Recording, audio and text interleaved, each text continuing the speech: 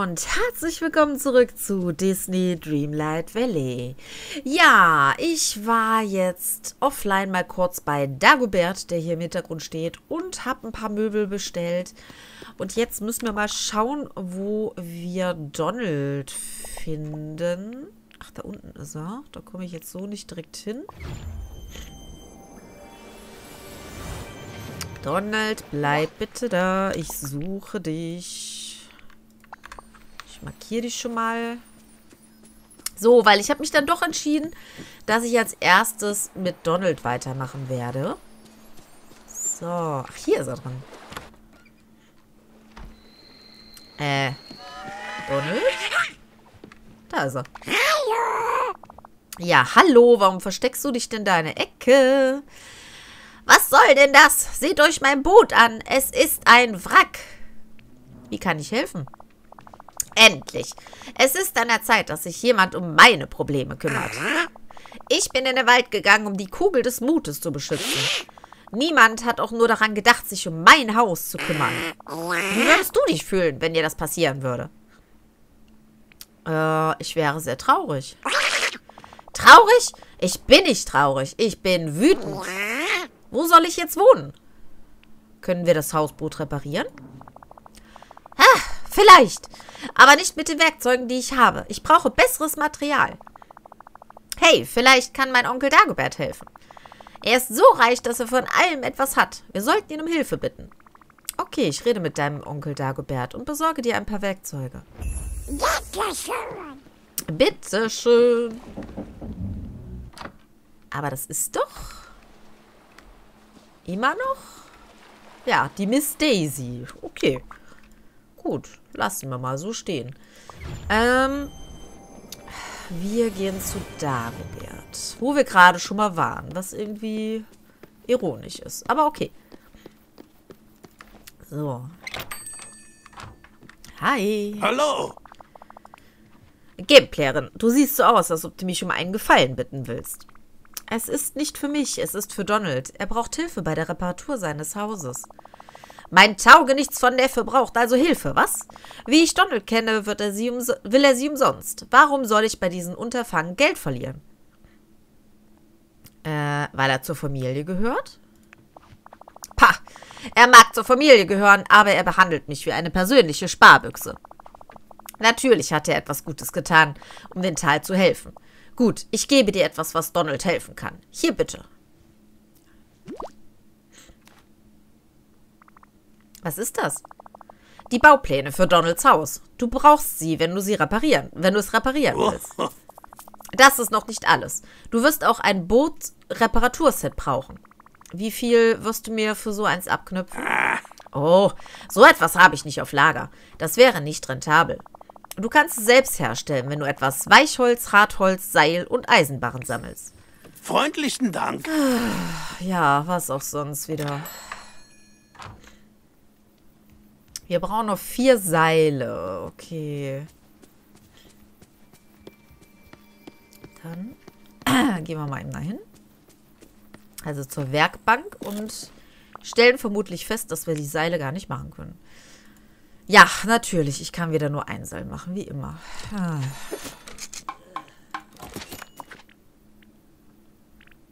Seetang. Achso, ich will aber keinen Seetang herstellen. Faser, so rum. Äh ich habe jetzt mal eins hergestellt. Ich weiß nämlich jetzt gerade gar nicht. Wir brauchen... Wir brauchen zehn. Okay. Oh, das wäre ein bisschen viel. Äh, ich glaube, ich brauche noch eins, oder? Wie viele Seile brauche ich jetzt genau?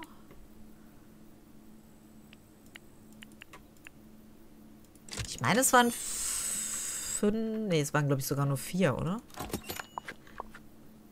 Äh, stelle Reparaturset her. Äh, ja, es waren nur vier. Natürlich. So, dann porten wir mal rüber.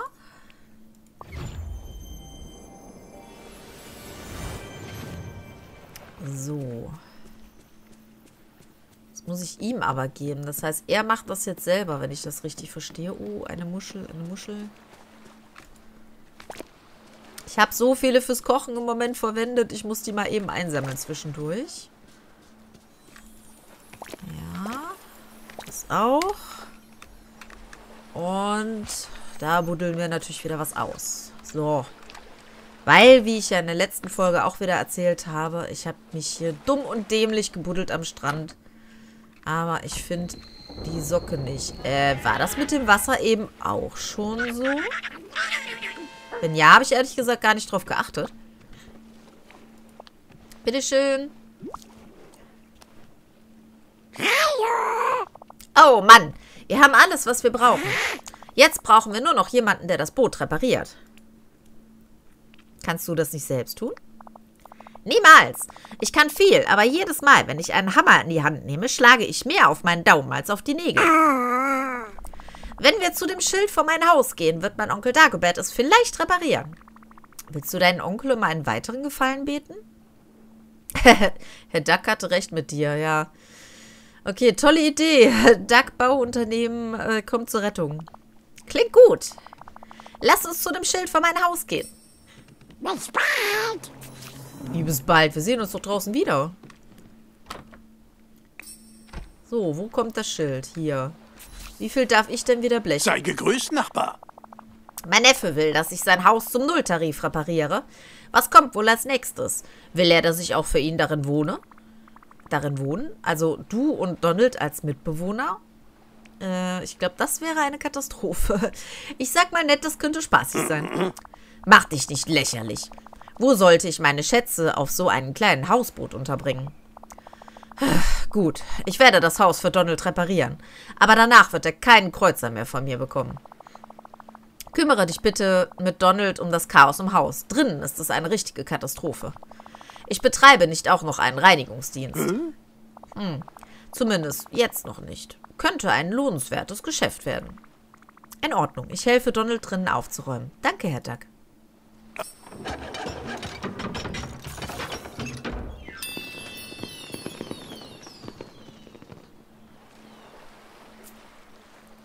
Keine Zeit zum Ausruhen. Ja, geh in Donalds Haus. Äh, ja.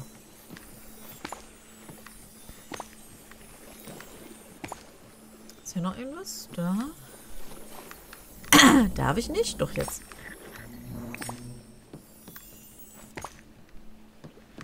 So, du brauchst die Sachen. Bitteschön.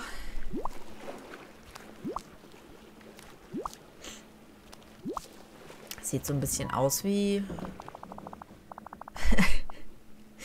ich sag's jetzt mal nicht. Danke, dass du mir geholfen hast. Du bist eine tolle Freundin.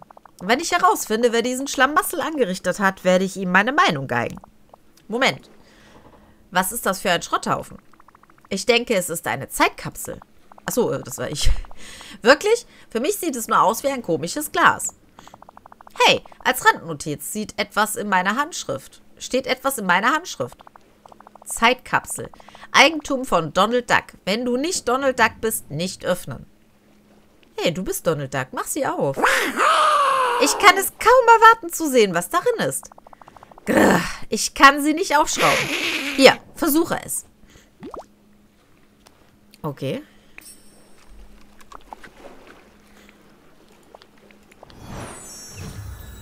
Tada. Giftig von deiner Aufmerksamkeit, bitte. Bitte was? Ähm, keine Ahnung, wovon das jetzt gerade war. Hallo? Hallo? Ja, kann ich doch mal mit dir reden? Nicht so viel meckern. Donald. Hallo? Hä? Ist der doof? Ach so, ich kann ihn anklicken, aber da steht nicht drin, dass ich mit ihm sprechen kann, oder was? Oh, jetzt erinnere ich mich. Vor dem Vergessen habe ich die gesamte Planung für das Dorf übernommen. Ich habe mir viele super geniale Sonderprojekte ausgedacht. Darin wärst du großartig. Du hast eine große Vorstellungskraft. Und ob ich das tue. Es macht Spaß, sich etwas einfallen zu lassen, um das Dorf, dem Dorf zu helfen. Vor dem Vergessen hatte ich etwas Großes vor, etwas sehr Großes, etwas Unglaubliches. Doch dann tauchten die Nachtdornen überall auf und ich vergaß alles. Ich habe alles, was ich für die Umsetzung meiner Ideen benötige, in Zeitkapseln im ganzen Dorf versteckt. Aber jetzt weiß ich nicht mehr, wo ich sie versteckt habe. Oder was ich bauen wollte. Ich muss mehr von Ihnen finden. Danke für deine Hilfe, Gameplayerin. Jederzeit, Donald.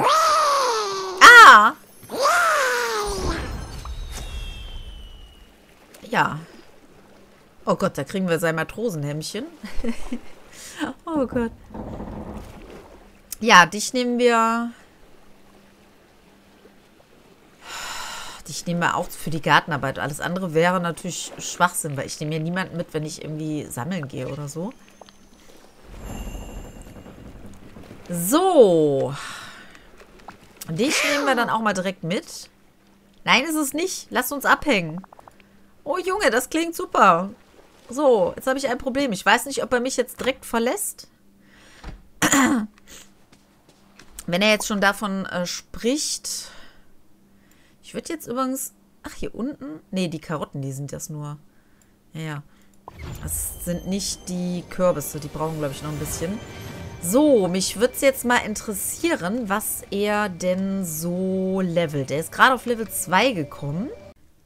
So, eigentlich wollte ich das Ganze jetzt hier nicht rausschneiden, sondern ihr solltet mal ein bisschen mitbekommen, wie viel er denn tatsächlich levelt mit diesem kleinen Feld. Aber leider ist das Video doch sehr, sehr lang geworden. Deswegen mache ich jetzt hier erstmal einen kleinen Cut. Er hat gerade auch schon im Hintergrund ein Level abbekommen. Deswegen mache ich hier erstmal einen kleinen Cut und wir sehen dann das Ergebnis sofort. Ja, und was ihr jetzt leider nicht mehr sehen könnt mit der Aufnahme, durch dieses kleine Feld ist er jetzt auf Level 5 aufgestiegen und ich finde, das ist doch ein recht gutes Ergebnis. So. Ach so, er ist ja noch, er ist ja noch mit mir unterwegs, okay. Ich wollte schon sagen, ich war nämlich gerade am gucken, ob er jetzt schon wieder am Schlafen war. Ich finde das grausig, dass die um 10, na gut, teilweise 11 Uhr immer direkt schon am Schlafen sind. So, komm mal mit mir hier aufs offene Feld, bitte. So. Hi, Gameplayerin. Willst du mir helfen, einen Streit mit Goofy zu schlichten und zu beweisen, dass ich recht habe? Äh, es kommt drauf an. Worum geht es bei dem Streit? Goofy behauptet, er habe einmal einen Wels in einem See gefangen. Aber es gibt keine Wälse in Seen. Goofy weiß nicht, wovon er spricht. Er kennt sich nicht so gut aus wie du. Nee, Goofy ist ein bisschen dusselig, aber er kennt sich mit vielen Dingen aus. Ich weiß nicht so recht. Ganz genau, er hat keine Ahnung von Fischen, wenn er glaubt, dass Wälse in Seen leben. Jeder weiß, dass der Wels im Meer lebt. Äh. Ich glaube, Wälse sind. Äh, der Wels ist im Supermarkt heimisch. Das ist geil. Ähm. Also ich weiß, dass ich schon in einem See geschwommen bin, wo es drei Meter große Wälse gab. Also sage ich mal, ich glaube, Wälse sind Süßwasserfische. Was? Ah, jetzt muss ich beweisen, dass du und Goofy falsch liegen. Wir fahren ans Meer, um Wälse zu fangen. Du solltest besser wie ein echter Fischer aussehen.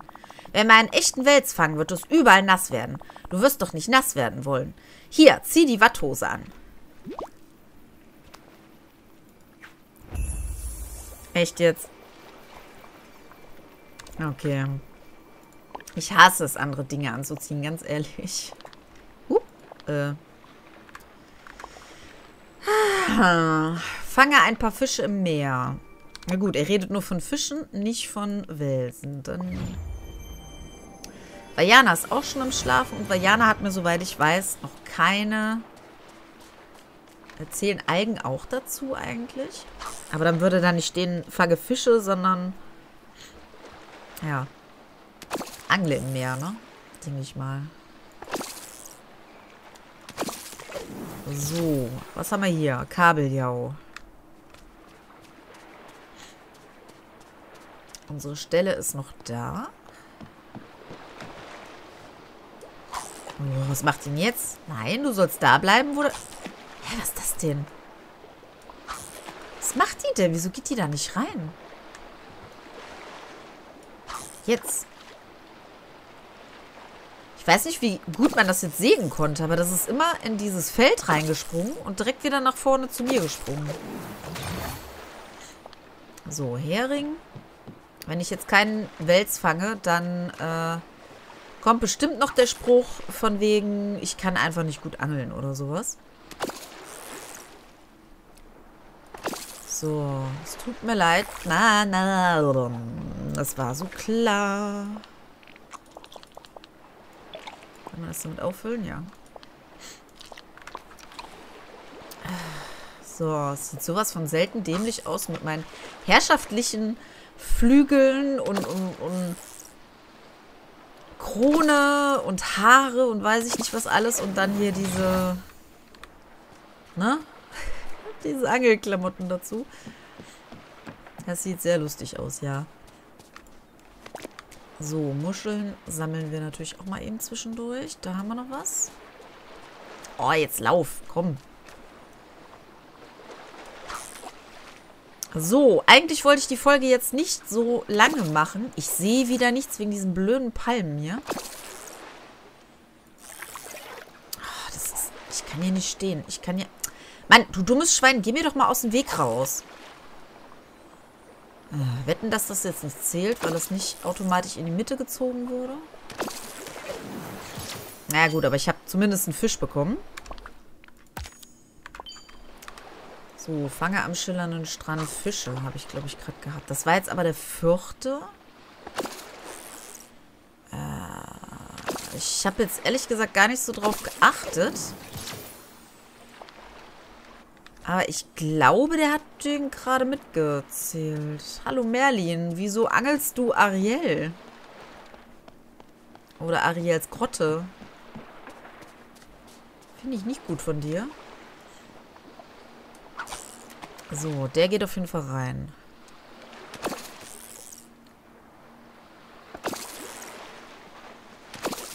Ariel, ganz ehrlich, musst du mich so erschrecken? Oh, das ist blau. Blau ist sehr gut. Nimm die Muschel auf, bitte. Danke. So, und jetzt ist mal bitte da rein und nicht wieder abbrechen. Ja, jetzt hat er nicht gebackt. Das war jetzt irgendwie... Es war gut, aber seltsam. Oh, ich habe wirklich gleich eine Meerjungfrau am Haken. Ein Königsfisch. Sehr geil. So bedenke nur meine Stitch-Quest. Deswegen immer mal wieder zwischendurch hier umschaufeln, wenn ich was sehe. Ähm, hinten sehe ich jetzt gerade aktuell nichts zum Angeln.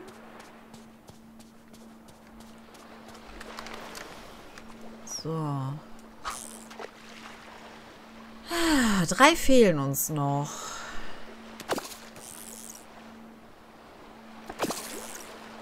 Ist ja eigentlich schon ein sehr gemütliches Spiel. Oh, was ist jetzt los? Haben wir einen Wels gefangen? Ach so.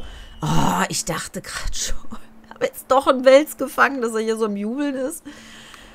Oh, er hat nur ein Level-Up gehabt. Okay. Was natürlich sehr gut ist, weil Level-Ups immer positiv sind. Was ist das?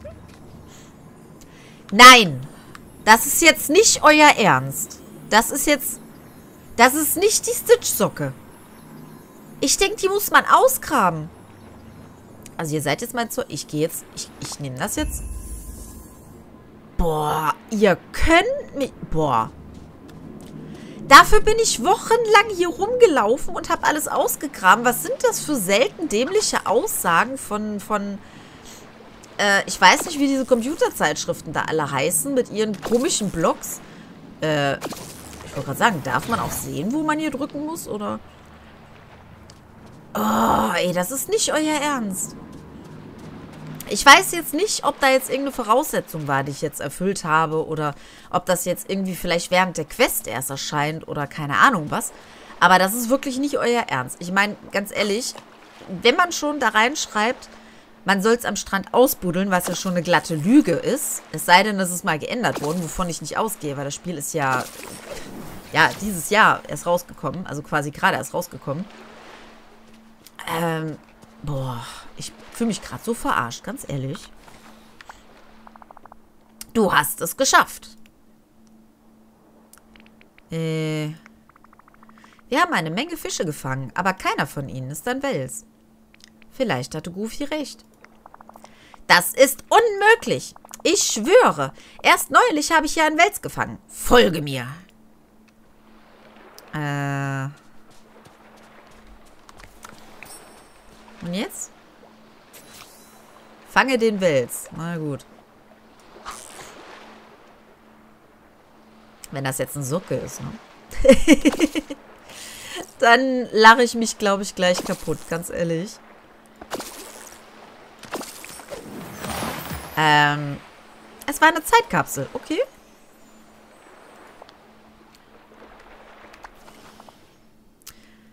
Wie, hallo? Äh, hier. Was? Du hast noch eine der Zeitkapseln gefunden, die ich im Dorf versteckt habe? Gib sie mir. Bitteschön. Ich dachte gerade, da kommt ein Hai raus. Mist, der Deckel ist fest zugeschraubt. Man muss ihn nur drehen. Bitteschön. Ich habe ihn für dich gelockert. Du kannst ihn jetzt öffnen. Äh, ja, genau. Die ist ja auch gar nicht total äh, verrostet. Ah, okay. Verzauberte Kapseln oder wie muss ich das verstehen? Ich äh, fange an, mich zu erinnern, was in der Zeitkapsel war, Gameplayerin. Und wenn Merlin dabei war, muss es wirklich wichtig gewesen sein. Was hat er dir gesagt? Oh, verflixt! Dieser Teil meines Gedächtnisses ist immer noch verschwommen. Ich habe außerdem einen Platz auf der sonnigen Ebene gesehen. Weißt du etwas darüber? Ich muss darin etwas versteckt haben. Etwas Wichtiges. Wir müssen nachsehen. Was ist mit dem Wels? Der Wels kann warten. Lass uns zur sonnigen Ebene gehen. Okay. Sonnige Ebene. Jawohl, Sir. Finde den Ort der Erinnerung. Könnte das der mit den blauen Blubberblasen sein? Wir testen das mal kurz. Ansonsten, obwohl da hinten sind auch wieder... Nicht, dass er die jetzt überall hier ins Wasser geworfen hat oder so. Okay, hier zumindest schon mal nicht. Das ist ein Buntbarsch, okay. Ähm, achso, da kann ich gar nicht hin. Ja, ich würde sagen, dass ich hier mal die Stellen ein wenig abangel. Ich weiß ja nicht, ob das jetzt mit sowas zu tun hat. Ein bisschen rumlaufe und wenn das denn zu lange dauert... Was ist denn das da hinten? Aber das ist nur Holz, glaube ich, oder? Ich kann da gar nicht so drauf achten. Das ist ein neuer Fisch, oder? Ein Zander? Äh, nee, das ist nur Holz da hinten. Hm... Wenn das zu lange dauert und ich nicht herausfinde... Oh, das müssen wir mitnehmen. Das ist gut. Äh, und ich nicht relativ zügig herausfinde, äh, wo dieser Ort ist, dann mache ich hier mal eben einen kleinen Cut. Auf die andere Seite müssen wir gehen. Da oben können wir noch hin. Äh, weil die Folge nämlich doch schon sehr lange ist. Oder vielleicht müssen wir auch buddeln. Das kann auch sein. Oder vielleicht auch nicht. Na gut. Äh, weil die Folge doch schon sehr lange ist und ich das jetzt nicht noch mehr überziehen möchte. Ich laufe hier mal so ein bisschen rum und schalte euch dann gleich wieder hinzu, sollte ich was finden. Ska, du stehst da gerade in einer denkbar ungünstigen Position.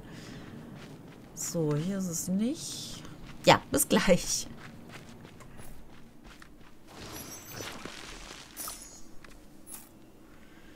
Da! Oh. Ja, ihr Lieben. Äh, ich weiß jetzt nicht, sie will da nicht so richtig ran. Ich mache das erstmal weg hier.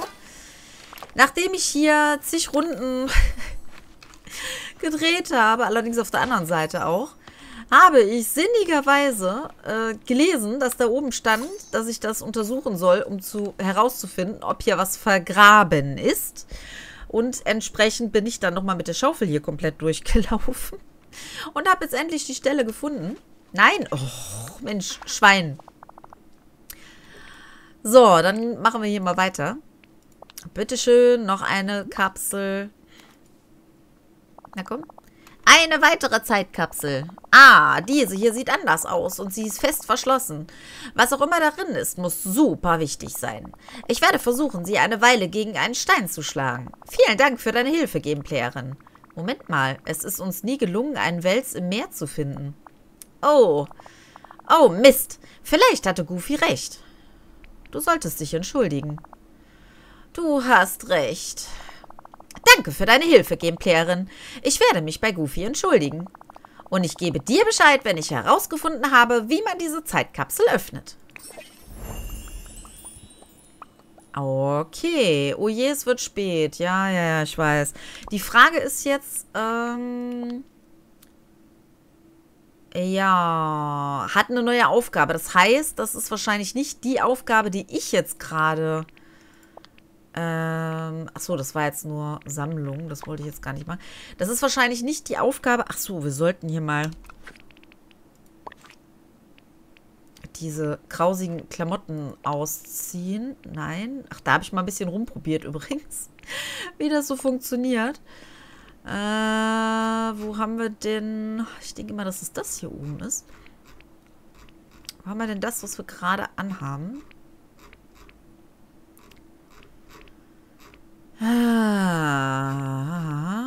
Da. Zack. Dann habe ich jetzt wieder meine schönen Klamotten an. Ja, ähm, das ging dann am Ende doch noch recht schnell. Auch wenn es, naja, für euch ging es schnell, für mich ging es nicht so schnell, weil ich hier die ganze Zeit durch die Gegend geirrt bin. Ich bin dann auch schon über die obere Ebene nach unten gegangen auf der anderen Seite, habe dann natürlich auch nichts gefunden. Naja, reden wir mal lieber nicht drüber. Ähm, ich würde sagen, dass wir in der nächsten Folge wahrscheinlich mit Donald weitermachen, wenn ich es nicht vergesse, weil ich möchte dann ehrlich gesagt doch gerne das Ganze so ein bisschen abschließen und hoffe, dass wir dann dadurch auch Stitch freischalten können. Aber ich möchte halt schon gerne diese, diese Sachen mit den Zeitkapseln. Das hat mir jetzt so ein bisschen, hat mich so ein bisschen getriggert. Ne? Das hat so ein bisschen mein Interesse gewechselt, äh, gewechselt, ähm, geweckt. Und ja, ich möchte halt doch schon gerne wissen, was es damit auf sich hat. Das könnte vielleicht ja auch irgendwas sein, was mir hilft, was ich nicht glaube, aber naja, weil er meint die ganze Zeit so, ne, er wollte halt das Tal verschönern oder verbessern oder sowas und das hat was mit den Zeitkapseln zu tun und ja, ich bin da doch ein bisschen gespannt drauf, muss ich jetzt zugeben. Okay, dann würde ich mal sagen, dass, äh, ja, Danke für alle, die Kommentare geschrieben haben, was das mit Stitch auf sich hat. Ich habe es jetzt auch so rausgefunden. Wie das dann immer so ist, man stellt eine Frage und in der nächsten Folge denkt man, ach so, so war das. ja, ja, Schweinchen, mach nicht immer eine Fotobombe, wenn ich mich gerade am Verabschieden bin, bitte. Und weg geht's wieder. Ich bedanke mich erstmal fürs Zuschauen und hoffe, wir sehen uns dann in der nächsten Folge wieder. Bis dann. Ciao.